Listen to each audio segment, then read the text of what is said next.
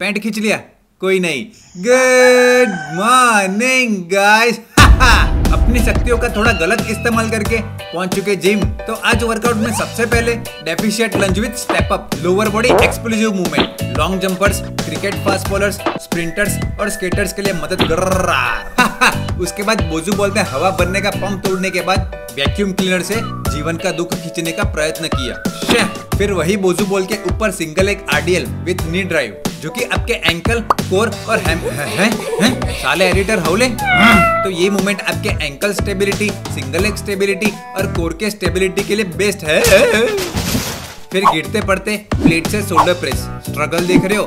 शायद दिखने में इजी होगा पर एक्चुअली में नहीं जो कि आपका शोल्डर और रिस्ट का स्ट्रेंथनिंग करने के साथ स्टेबिलिटी भी इम्प्रूव करेगा।